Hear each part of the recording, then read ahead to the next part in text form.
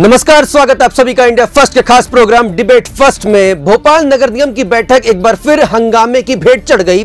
असल मुद्दों पर चर्चा न कर कर तमाम मुद्दों पर चर्चा की जाती रहती है, हंगामा होता है, नारेबाजी होती है रोना धोना तक हो जाता है, लेकिन जनता की समस्याओं पर किसी प्रकार की ना तो चर्चा की जाती है, ना उस पर कोई कार्रवाई की जाती है, और भ्रष्टाचार जैसे बड़े मुद्दों पर तो कहीं पे भी उंगली तक नहीं रखी जाती है। ये क्या वजह है जिस जिसकी वजह से न केवल बीजेपी बल्कि कांग्रेस भी, जो विपक्षी दल है, वो भी कहीं ना कहीं अपने स्वर को, अपनी ज़ुबान को, अपनी आवाज़ को नीची करके चलती है।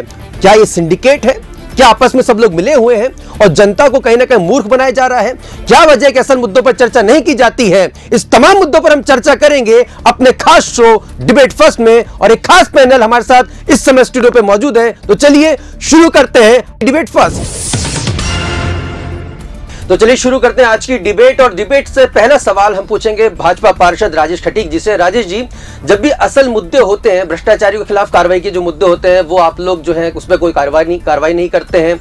अतिक्रमण के खिलाफ कोई कार्रवाई नहीं करते हैं। हाल ही में जब बारिश आई तो पूरा शहर जो है, जो नाले जो है, उफन उफन कर जो है, सामने आ रहे हैं। लेकिन कोई कार्रवाई नहीं होती, आपके महापौर जो है, वो बीच में बैठ जाते हैं, नाले के बीचों बीच में कार्रवाई फिर भी नहीं होती है। और जब इस तरह की जो परिषद की जो बैठक होती है, जिसमें अहम मुद्दे जो है, डिस्कस किए जाने चाहिए, वो कहीं ना कहीं आप लोग या तो मैनेज कर लेते हैं या आपकी देखिए आपकी जो पार्षद है वो कहती है मैं इस्तीफा दे रही हूँ। तो क्या इस्तीफा देने के लिए उसको यही मौका मिला था जब जनता के असल मुद्दे चर्चा किए जाने चाहिए थे?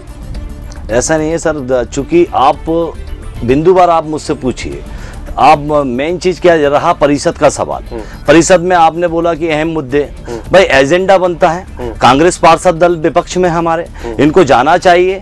अध्यक्ष के पास अपना ज्ञापन देना चाहिए कि इन इन मुद्दों को आप एजेंडे में शामिल करो।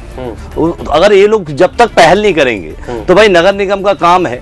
नगर निगम को अपनी दुकानें बेचनी है संपत्ति का अर्जित करना है और बहुत सारे प्रस्ताव है वो नगर निगम में आते हैं। जब तक कांग्रेस पार्षद दल खुद नहीं जाएगा कि इन प्रस्तावों को आप एजेंडे में परिषद में लाइए तो क्यों शामिल नहीं होंगे? नहीं तो आप भी तो पार्षद हैं अभी जनता के प्रतिनिधि हैं। जब तक कांग्रेस मतलब कांग्रेस के कहने पे ही काम करते हैं आप नहीं नहीं हम लोग अपना काम स्वयं करते हैं। बताइए हम कौन सा इश्यू नहीं लाते? क्या किसके खिलाफ कार्रवाई करती थी आप लोगों ने? बताइए भ्रष्टाचारियों के खिलाफ? इतने घोटाले जो है पूरे पूरे देश में नाम कमा लिया भोपाल नगर निगम ने। आप घोटाला बोल रहे हैं। किस घोटाले की आप बात कर रहे हैं? ट्रांसपोर्ट घोटाले की हम बात कर रहे हैं। ट्रांसपोर्ट घोटाले में जो संबंधित अधिकारी थे उन पर कार्रवाई की उनको हटा दिया गया किस किसको हटाया सर? आप बताइए तिवारी जी है परमार है सबको जमे हुए सर। जैसे कि आप एक का नाम बताइए। मैं नाम लू सर? आप बताइए। सिंह साहब जी को। एमपी आरोप साबित होना बहुत बड़ी बात है साहब। हटा दो। नहीं आरोप साबित नहीं हुआ ना। आप आरोप तो साबित होगा तो होगा।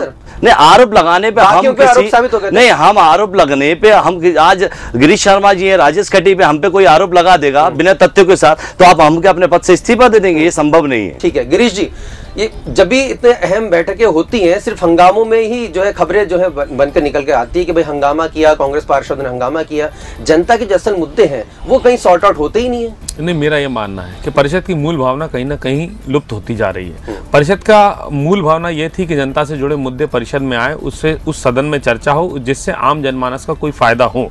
पिछले बार के मैं, पिछले एक साल के एजेंडे आपको गिना सकता हूँ कि नगर निगम भोपाल में एजेंडे में जो विषय आ रहे हैं, वो विषय या तो किसी दुकान को बेचने का या किसी सड़क के नाम रखने का है या किसी चौराहे के नाम रखने का है। ये नाम की राजनीति करने का जो सिस्टम शुरू हुआ है वो कहीं ना कहीं इस परिषद के कार्यकाल में शुरू हुआ है। पिछली परिषद हमारी कांग्रेस की थी और सारे बड़े मुद्दे सारे बड़े इशू चाहे भोपाल में नर्मदा जल लाना हो गरीबों को आवास देना हो Jawaharlal Nehru- Nehru urban renewal mission के तहत बहुत सारे आवासों का निर्माण कराना हो बीआरटीएस जैसे बड़े कॉरिडोर को आगे बढ़ाना हो निश्चित तौर पर आम जनमानस की जो सुविधाओं की बात करें जो आज शहर में इंफ्रास्ट्रक्चर दिख रहा है वो कहीं ना कहीं पिछली परिषद की देन है। और आज की परिषद में आज बात करें तो आप जितनी बार भी परिषद के एजेंडे को उठाकर देखेंगे निश्चित तौर पर संपत्ति से जुड़ी संपत्ति बेचने से जुड़ी इसके अधिक कोई बात नहीं होती। और पिछली चार परिषद से महा माननीय महापौर जी और माननीय अध्यक्ष जी इस तरीके की दादागिरी कर रहे हैं जिस प्रकार से परिषद को पाँच मिनट या सात मिनट के एजेंडे में पूरा करके परिषद छोड़ के भाग जाते हैं।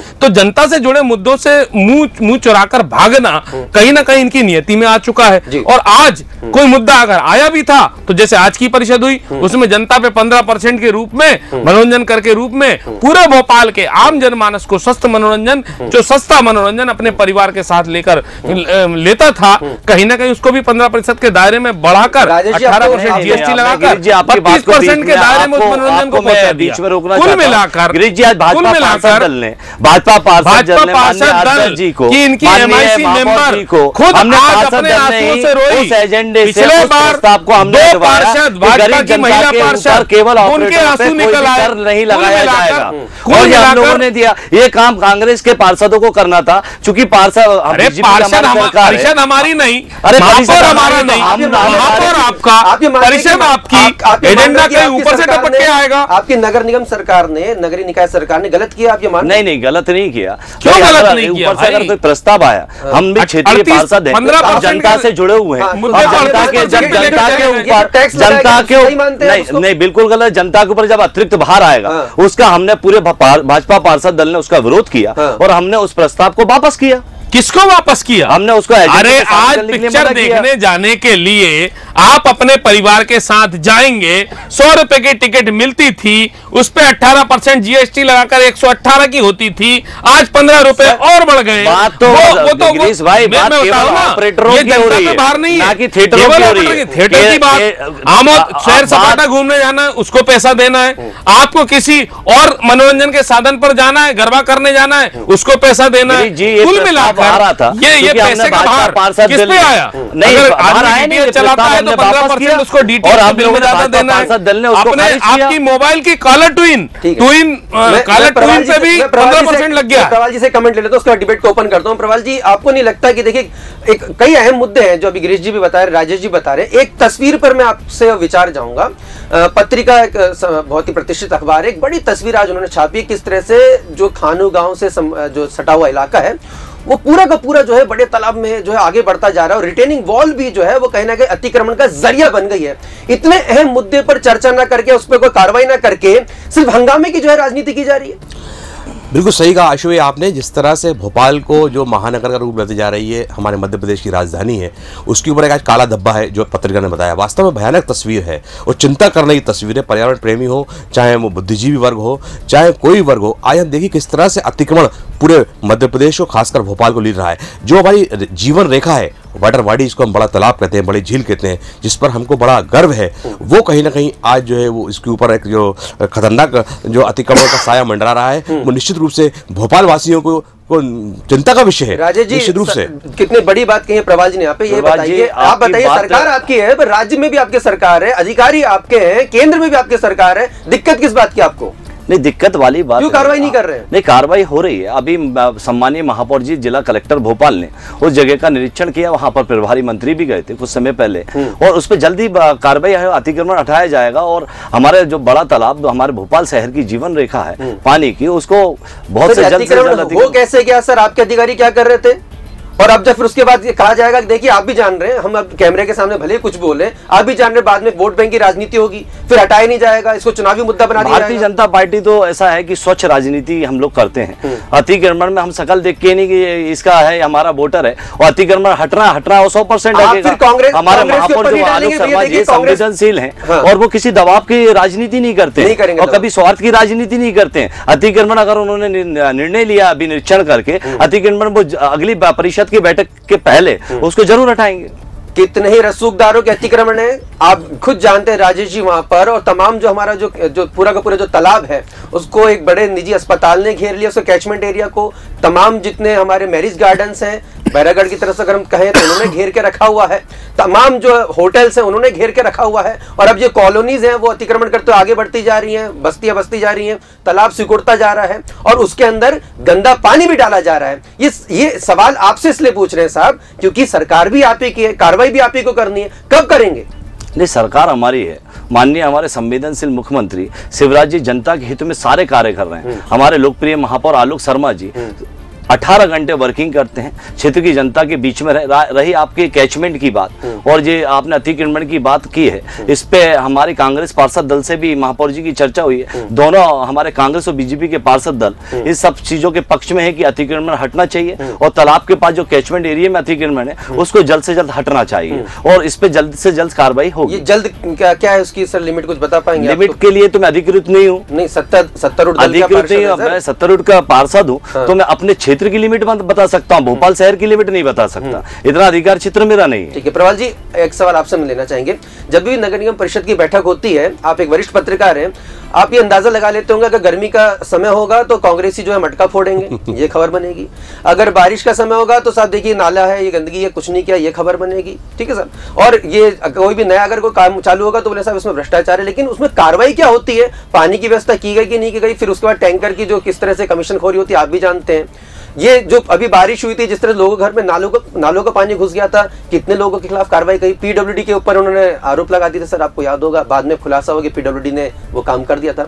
आपको नहीं लगता कि जनता को लगातार जो है मूर्ख बनाया जा रहा है? निश्चित रूप से भोपाल की जनता का मैं यहाँ कह सकता हूँ, बड़े दुख के साथ कि दुर्भाग्य है कि जिनकी सरकार प्रदेश में है, जिनकी सरकार केंद्र में है और जिनकी बहुमत की सरकार नगर निगम में वो कुछ नहीं कर पा रहे हैं। उनको धरने में बैठना पड़ रहा है। ये एक हास्यास्पद स्थिति जो बन रही है, इसके लिए दोषी कौन है? इसके लिए दोषी वही हुक्मरान है जो लंबे समय से बैठे हुए हैं। क्यों नहीं बन पाता मास्टर प्लान भोपाल के अंदर? काफ़ी लंबे समय से मास्टर प्लान की बात होती है, मास्टर प्लान नहीं बन पाता। हम निकासी की बात व्यवस्था क्यों नहीं कर पाते? बड़े बड़े बिल्डर्स जो मकान बना लेते हैं बड़े बड़े महल बना लेते हैं और उनकी कहीं व्यवस्था नहीं है। निश्चित रूप से बस्तियों में पानी घुसता है। जब बस्तियों में पानी घुसता है तो अचानक फिर कार्रवाई की बात होती है। अरे भाई ये तो तैयारियाँ को पहले से करके रखना चाहिए थी। क्यों नहीं कर पाते? और आ- सबसे बड़ी बात क्या है विकास एजेंसियों को आपस में कोऑर्डिनेशन नहीं है। तमाम विकास एजेंसियाँ जो है वो छिन्न भिन्न है और कोई एक दूसरे की बात मानने को तैयार नहीं है। नौकरशाही इस कदर हावी है कि पार्षदों की कोई बात नहीं सुनी जाती है। सर क्या आपको लगता है कि इसमें विपक्ष की भी मिली भगत है सत्ता पक्ष से? निश्चित रूप से जो प्रति जो सत्ता पक्ष के पहले भी परिषद की बैठक हम काफ़ी लंबे समय से हमने आपने हमने कवरेज की है हमने देखा है कि जो न्याय की बात होती थी उस पर निश्चित रूप से सब लोग बात करते थे। आज मैनेज की बात हो जाती है। रात को परिषद की बैठक होती है कुछ पार्षदों को जो है सत्ता पक्ष के लोग अपने पक्ष में करने के लिए उनको तरह तरह के प्रलोभन देते हैं। तुम्हारा ये काम हो जाएगा वो काम हो जाएगा हो हल्ला होता है। आपस में गुडबाई इतनी ज़्यादा बढ़ गई है कि समझ में आता कौन भाजपा का कौन कांग्रेस का है बड़ा सिंडिकेट है। गिरीश जी जब एक घोटाले को उजागर हुआ था गाड़ियों का मैं आपसे बात कर रहा हूँ उसमें सिर्फ़ भाजपा पार्षद ही नहीं उसमें कांग्रेसी पार्षदों के नाम थे जो गाड़ी का बेजा जो है इस्तेमाल कर रहे थे। क्यों नहीं आरोप लगेंगे? भाई कहीं ना कहीं देखिए अब आप बीजेपी की जो सरकार है वो काम नहीं करी तो कांग्रेस भी उसका मुखरता से विरोध इसलिए नहीं कर पा रही क्योंकि कहीं ना कहीं मिली भगत के जो सबूत मिल रहे हैं। मैं आपकी बिंदुवार आपकी आपकी बातों का सबका जवाब देता हूँ। आपने मामला उठाया पत्रिका में छपे तालाब के कैचमेंट का। ये तालाब हमारा जो राजा भोज का तालाब है वो कैचमेंट रामसर साइड है। इसका अंतर्राष्ट्रीय महत्व की साइड है। इसमें कुछ भी डेवलपमेंट करने के लिए आपको पहले पर्यावरण और फॉरेस्ट की एनओसी लेनी ज़रूरी है सेंट्रल की। आपने वहाँ आठ करोड़ रुपए की पिछली परिषद में मेरा सीधा आरोप है। आठ करोड़ रुपए की रिटर्निंग वॉल अतिक्रमण को बढ़ावा देने के लिए लोगों को सीमा बांधी तालाब की। तालाब की अतिक्रमण की सीमा नहीं बांधी। तालाब के बढ़ने की सीमा बांधी आठ करोड़ रुपए रिटर्निंग वॉल में Jawaharlal Nehru urban renewal mission के डुबा दिए। और उसके कुछ दिन बाद मुख्यमंत्री जाते हैं वहाँ पर। और उस अतिक्रमण को देखते हैं कि रिटर्निंग वॉल के रूप में एक नया अतिक्रमण हो गया। और वही मुख्यमंत्री तत्कालीन मंत्री बाबूलाल गौर जी उनकी बहू कृष्णा गौर जी मेयर के करे हुए काम को बोलते हैं अभी आठ करोड़ रुपए की रिटर्निंग वाल को तोड़ दो। इसके बाद फिर वहाँ एक बड़ी मल्टीनेशनल कंपनी का आज भी तालाब खोदने के नाम पे जो ढोंग रचा जा रहा है एक बड़ी ताज ग्रुप की होटल आने को तैयार है। तालाब के आसपास बड़ी कॉलोनी रिहायशी बस, बसाट करने को तैयार है। और हर जो नया मेयर बनता है वो सबसे पहले एक ही बात करता है कि हम यहाँ के मैरिज गार्डनों को तोड़ेंगे। और इसके बाद किसी मैरिज गार्डन में सुई के बराबर कोई कार्रवाई नहीं होती। ये कौन सा सिस्टम चल रहा है? मैंने रेरा जैसा मामला उठाया जैसे आप प्रवाल जी ने बात करी कि भोपाल शहर का मास्टर प्लान नहीं है। अभी हमारे शहर का मास्टर प्लान ही हमारे पास नहीं है। हम 2005 के मास्टर प्लान पे काम कर रहे हैं। मास्टर प्लान की रोडों पर 800 करोड़ रुपए के नर्मदा के पानी की बंदर बांट करते हुए कई टंकियों का निर्माण कर दिया। कई जगह से पाइपलाइन बिछा दी और पूरा नर्मदा का नेटवर्क डिजोल्व कर दिया। हम कह रहे हैं कि शहर के सर्विस आपने जो बात कही कि लोग डूब गए बच्चा बह गया बहुत सारे लोग नाले में पानी भर गया। सरफेस वाटर ड्रेन की डीपीआर 100 करोड़ से शुरू होती है 1800 करोड़ पे समाप्त होती है। उस डीपीआर को बनाने के लिए बड़ी मल्टीनेशनल कंपनी मैनहट को करोड़ों करोड़ रुपए की कंसल्टेंसी दी जाती है और दिल्ली से एक रुपया नहीं आता। अब कैसे अच्छे दिन की सरकार? कौन सी मोदी की सरकार? कौन सी स्मार्ट सिटी स्मार्ट सिटी का सिर्फ़ ढोल बजाया गया। न्यू मार्केट के एक कोने वाले हिस्से को डेवलप करना भोपाल शहर को स्मार्ट करना नहीं हो सकता। आज भोपाल को रीडेंसिफिकेशन की ज़रूरत थी।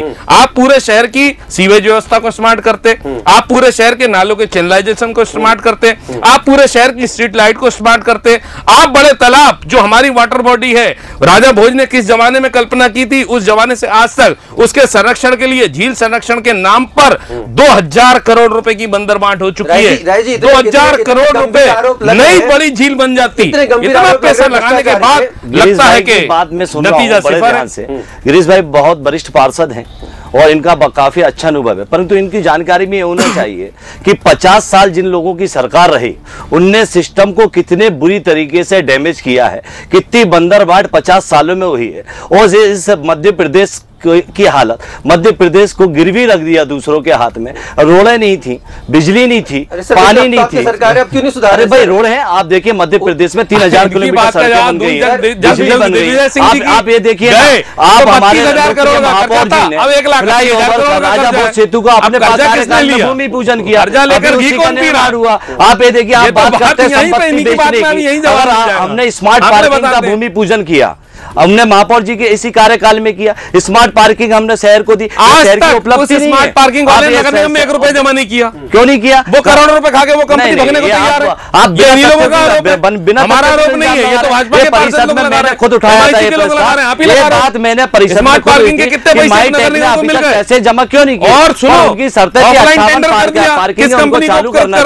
उस समय उनको पैसा जमा करना था चूँकि उनने तीस पार्किंगें शुरू की हैं और उसका पैसा वो जमा कर रहे हैं और चूँकि उन पर उचित कार्रवाई भी हुई है और बात रही क्षेत्र के विकास की आप भोपाल में नर्मदा लाइन आप मेरे बाट को देखिए पाँच हज़ार नर्मदा के कनेक्शन मेरे घर घर में लगे हुए हैं मेरे बाढ़ में पानी की कोई समस्या नहीं है लगे नर्मदा जवाहरलाल नेहरू अर्बन रिन्यूअल तो जवाहरलाल मिशन योजना की नहीं है वो। आप तो हम तो हाँ। ये जानते हैं राजीव आवास योजना के तहत आवास बने। ऐसा तो प्रधानमंत्री आवास हाँ। योजना में हम भोपाल राजीव आवास योजना के तहत हैं। गरीबी रेखा के मध्य मकान प्रदेश बने। मध्य प्रदेश इंदिरा में आवास 2022 योजना के तहत मकान दिए गए। आप कौन से मकान दिए कौन सी नर्मदा की लाइन में? आपका आप एक रुपया नहीं लगा। भोपाल में मेरे आप ज़मीन स्टेट का फंड नहीं मिला पाए सिलिम बस्ती नगर निगम अपना- अपना हेड नहीं जवाहरलाल मिला पाए नेहरू अर्बन रिन्यूअल मिशन के तहत ही सारा आप काम बताइए आप अपनी योजना ईदगाह के बता रहे हैं मकान जी हम ईदगाह के मकान सुदामा नगर नगर के में। नहीं, मकान नहीं, आलमनगर के मकान कल्पना नगर के मकान नगर में बताइए एक मकान बताइए आपने सारे Jawaharlal Nehru urban renewal Jawaharlal Nehru urban शहरी में योजना में। अब हम प्रधानमंत्री आवास योजना काम किया था मिशन बनाने में में, वो 500 कांग्रेस ने मकान किया। बनाने जा रहे हैं हम भाजपा ने जयवीर क्या नगर किया? में 500 मकान बनाने जा रहे ने हैं तो टैक्स लगाए। रोज नए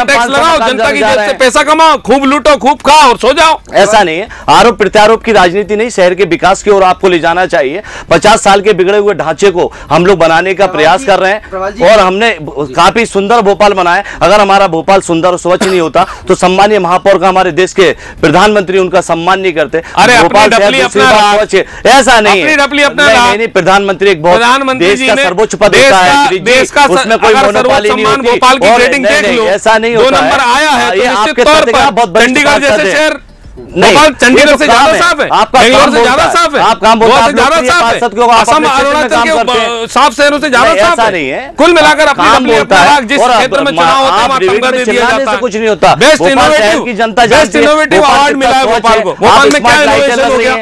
कौन सा इनोवेटिव अवार्ड दे दिया? किस किस इनोवेशन के कारण ये अवार्ड दिया है आप बताओ वो साइकिल ट्रैक जिस जो धूल खा रहा है जिस पे ठेले वाले ठेला रख के केला बेच रहे हैं उस साइकिलिंग ट्रैक को साइक, उस साइकिलिंग में भोपाल को अवार्ड दे दिया। वो टूट गया। वो डक्टर बना उसके नीचे गटर जा रही है। और एक भी साइकिल साइकिल चोरी हो गई है साइकिल स्टैंड से। उस साइकिल ट्रैक को बनाने पे भोपाल को बेस्ट इनोवेटिव अवार्ड दे दिया। ये कौन सा अपनी ढपली अपना राग है? नहीं अपनी डपली अपना राग नहीं है। चूँकि क्या हम लोगों ने सवाल यहाँ खड़े होते हैं। ग्यारह करोड़ रुपए लगा दिए। ट्रैक हमारे यहाँ आदर्श मार्ग के रूप में जेके रोड को ग्यारह सत्रह करोड़ से जेके रोड नहीं बना कि कहीं ना कहीं जो विकास के नाम पर जो है एक बड़ा कमीशन खोरी का जो धंधा जो है वो फल फूल रहा है नगर निगम भोपाल में और ठेकेदार जो है वो चांदी काट रहे हैं। निश्चित रूप से आप देखिए कि भोपाल के अंदर विकास की जब हम बात करें तो उन्नीस सौ नब्बे की मैं मेरे को लेके जाऊँगा जब सुंदरलाल पटवा मुख्यमंत्री थे और बाबूलाल गौर स्थानीय शासन मंत्री थे उस जमाने में बाद में नगरीय प्रशासन हो गया वो। तो गौर जी का खुद कहना था कि जिस इस समय में स्थानीय शासन मंत्री था उस समय मैंने ज़्यादा काम कराया और वो काफ़ी अतिक्रमण हटाया गया वीआईपी रोड उसकी देर है। तमाम चीज़ें जो है भारत टैकेज पर काम हुआ जहाँ सद्दीक हसन का मकबरा निकला काफ़ी तमाम उन्होंने काम करवाए वो इस बात को स्वीकार करते हैं। लेकिन उनका खुद कहना था मैं मुख्यमंत्री बना तो इतने काम में नहीं करा पाया। तो कहीं ना कहीं जो एक दबाव की पॉलिटिक्स है, जिस तरह से राजनीति बदल रही है, आज एडजस्टमेंट की राजनीति चल रही है, उसकी वजह से सबके हाथ बंधे हुए हैं। अधिकारी लोग जिस तरह से जो गुमराह करते हैं, जो बता देते हैं, वही मान लिया जाता है। तो जब हम दूसरों के दिमाग से चलेंगे, दूसरों की बात मानेंगे, अपना स्वयं का विवेक खो देंगे आज तमाम अनुभवी लोग हैं भोपाल के अंदर, जिनको मालूम है कि पाइपलाइन भोपाल टाके से निकलेगी, वो भोपाल टाक से निकल के जो है वो बेरागढ़ तक जाएगी, वो पाइपलाइन कौन सी हो सकती है? तो ऐसे तमाम लोग ऐसे तमाम अधिकारी हैं पुराने नगर निगम के ऐसे अधिकारी हैं जिन्हें बरसों यहाँ काम किया। हम उनकी ज़रूरत नहीं समझते। हम नए जो बाहर से लोग आ गए हैं कोई रीवा से आ गया है कोई जबलपुर से आ गया जिनको भोपाल का ना इतिहास मालूम ना भूगोल मालूम उनके कहने पे में हम चल रहे हैं। और उनको सिर्फ़ भोपाल भोपाल आने का मकसद उनका भोपाल आने का मकसद सिर्फ़ उनका माल काटना है कोई माल दे के आते हैं वो। और वो भोपाल में आके माल काटते हैं और वो हमारे यहाँ के जनप्रतिनिधि को हमारे शहरी लोगों को गुमराह करते हैं और कई बार पार्षद की बेचारगी होती है वो विचार देते हैं लेकिन ऊपर नहीं माना जाता। कमिश्नर कभी साल भर नहीं टिक पाता यहाँ पर। आप देखिए तीन साढ़े तीन साल में चार चार पाँच कमिश्नर। बदल गए। अब ऐसे कैसे आप समझ सकते हैं? भोपाल के विकास की आप बात कर सकते हैं। क्यों अनुभवी कमिश्नर को आप नहीं लाते हैं? यहाँ पर जो लंबे समय तक काम करे जब एक कमिश्नर कुछ चीज़ समझ पाता है इतने में उसका ट्रांसफ़र कर दिया जाता है। तो कहीं- महिला अधिकारी को बिठा दिया था इससे कि या, या तो वो एडजस्ट नहीं कर पाता इस पूरे सिस्टम के साथ। पूरे सिस्टम के साथ। तो कहीं ना कहीं आशु जी भोपाल की बदकिस्मती से कहेंगे कि यहाँ पर विकास के नाम पर जो है सिर्फ़ बातें बातें हो रही हैं और एडजस्टमेंट हो रहा है और जिनको प्रशासनिक अनुभव है उनको नहीं बिठाया जाता या उनको ट्रांसफ़र कर दिया जाता है। एक सवाल और लेना एक, पूरक सवाल और मेरा। आपको लगता है कि अब पैसा कुछ ज़्यादा आ गया है? अलग अलग योजनाओं से जो राज्य की योजना है केंद्र की योजना है पैसा कुछ ज़्यादा आ गया है इस वजह से कहीं ना कहीं जो है बंदरबाट जो है और खींचतान जो है वो चरम पर है। बिल्कुल भोपाल को तो साहब चरखा बना दिया गया है यहाँ पर। तमाम लोग आते हैं चरने के लिए आते हैं मैं साफ़ कहना चाहूँगा। और तमाम वर्ल्ड बैंक हो तमाम एजेंसियाँ तमाम वहाँ से पैसा आ रहा है। तमाम पैसा आ रहा है। तमाम बड़ी बड़ी यहाँ के जो ठेकेदार हैं यहाँ के बिल्डर हैं वो तो बैठे हुए बेकार। बाहर से आ रहे हैं बिहार से आ रहे हैं पूरे मध्य प्रदेश गुजरात से आ रहे हैं। आपके? मालूम है है ना? सारे महापौर आप ही के हैं। और सरकार भी आपकी सोलह नगर निगम में। सोलह के सोलह महापौर आपके हैं। कमिश्नर भी ज़ाहिर बात है सरकार आपकी है तो अधिकारी भी आप ही के हैं। उसके बावजूद भी सर आपको नहीं लगता कि मध्य प्रदेश में जो इतना पैसा आ रहा है उसका सही इस्तेमाल नहीं हो पा रहा। आप ये देखिए मध्य प्रदेश में विकास कहाँ नहीं हो रहा है? नगरी नगरीय निकाय जी की जो बात बोल रहे हैं नगरीय निकाय की बात कर रहा हूँ। आप पचास साल का इतिहास देखिए भोपाल का और ये पंद्रह वर्षों का देखिए। आप कांग्रेस आप दो तस्वीर देखिए एक प्रधानमंत्री जी से अवार्ड लेते हुए महापौर जी की दूसरे नाले पे बैठे हुए मैं खुद भोपाल में मैं खुद भोपाल में बरसों अमृत से के लगाने के बाद। इतने इतने पैसे खर्च करने के बाद 435 खुद ही करोड़ अमृत के ढाई सौ करोड़ नाले के। बेचारे की देखिए मेरे अधिकारी सुन नहीं रहे और देखिए नाला इधर आ गया है। क्या क्या है भाई साहब कि जो सिस्टम पचास साल का है उसको तीन साल में तो दुरुस्त किया नहीं जा सकता।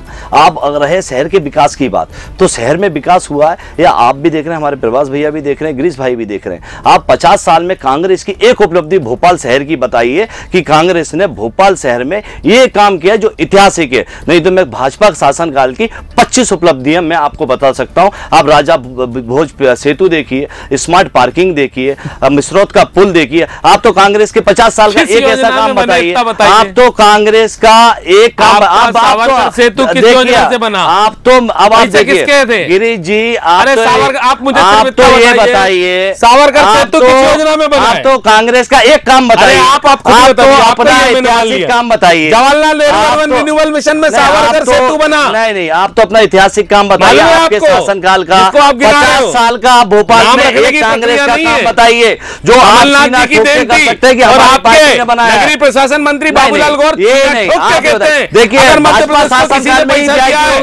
बाबूलाल गौर का कथन है कि सबसे ज़्यादा कमलनाथ भाजपा शासन काल में मोदी के शासन काल में एक रुपए नहीं मिला सरकार में ही चवन्नी नहीं मिल। रोड का निर्माण हुआ है। नहीं सेतु बना है। स्मार्ट पार्किंग हमारी भाजपा?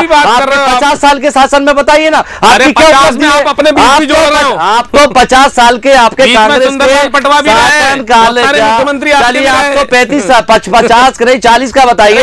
आप भोपाल शहर के लिए भोपाल शहर का आपकी सरकार की एक उपलब्धि। एक काम बताइए आप।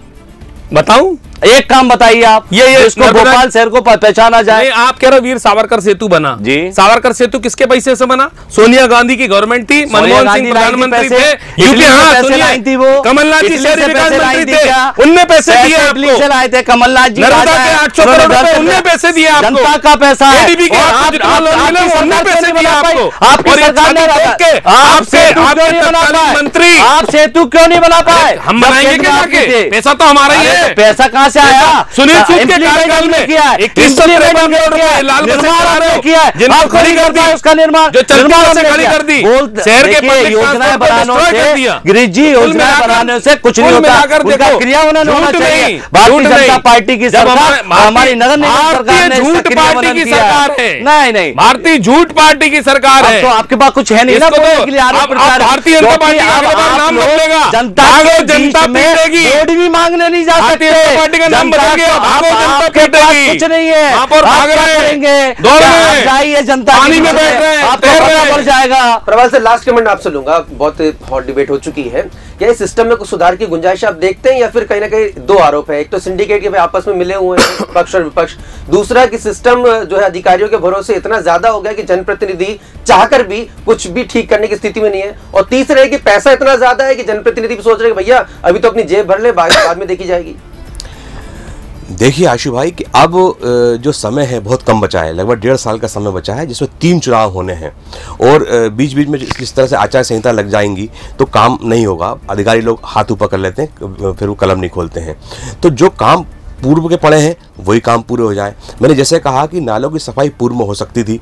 जहाँ पर गड्ढे थे जहाँ पर सड़कें नहीं थी वो बनाई जा सकती थी। क्या वजह है कि आज वीआईपी क्षेत्रों की सड़कों को आप चार चार पाँच पाँच बार बनाते हैं लिंक रोड से लेकर शामला हिल्स तक? और जो कमज़ोर बस्तियाँ हैं जो पिछड़ी बस्तियाँ हैं वहाँ पर विकास का प्रकाश पहुँचता ही नहीं है। आखिरकार ऐसा क्यों होता है, है टैक्स सब बराबर दे रहे हैं तो फिर आपको कहीं ना कहीं भेदभाव दूर करना पड़ेगा, पहली बात ये। सबको, तमाम एजेंसियों को कलेक्टर को कमिश्नर को, महापौर को, तमाम लोगों को बैठना पड़ेगा और सबसे बड़ी बात है कि कल संकल्पित होकर और इच्छा शक्ति होना चाहिए। जैसे मैंने कहा कि गोड जी कहते थे इच्छा शक्ति थी तो वीआईपी रोड बन गया। तो तमाम चीज़ें हो गई। जब तक आपको इच्छा शक्ति नहीं होगी, जब तक आप ये वोटों की राजनीति दूर नहीं होंगे, जब तक ये सोचोगे कि आपके खानुगा में एक जो होटल बना है या वीआईपी रोड में जो होटल बना है, वो किसका है, कौन सी पार्टी का कौन से लोग उसको बिलोंग कर रहे हैं, तब तक ये बातें नहीं होगी, तब तक आप जो है विकास के नाम पर सिर्फ़ लोगों को मूर्ख बनाएँगे और बाहर के लोग आएँगे, यहाँ पर जो है, जैसा मैंने कहा, पैसा बना के पैसा कमा के चले जाएँगे। और शहर की जनता को हमेशा की तरह रोना पीटना ही पड़ेगा। चलिए बहुत बहुत शुक्रिया आप तीनों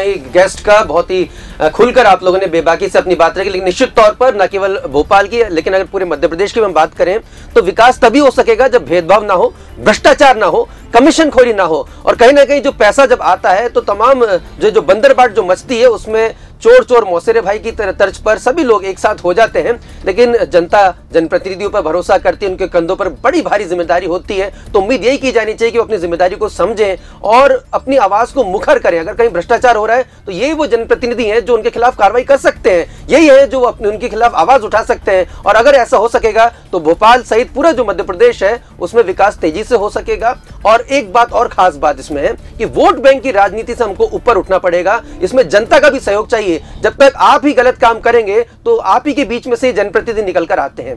आपकी आवाज़ वो उठाते हैं। अगर आप ही गलत काम करेंगे तो ये मादा आप लोग ही उनको दे पाएँगे कि भाई आप गलत के खिलाफ आवाज़ उठाएँ। तो जनता से भी हम अपील करेंगे कि जहाँ गलत हो रहा है, उसके खिलाफ एकजुट हो, क्योंकि ये देश भी हमारा है और शहर भी हमारा। फ़िलहाल, मुझे यानी आशुतोष को दीजिए इजाज़त। आप देखते रहिए इंडिया फ़र्स्ट न्यूज़। नमस्कार।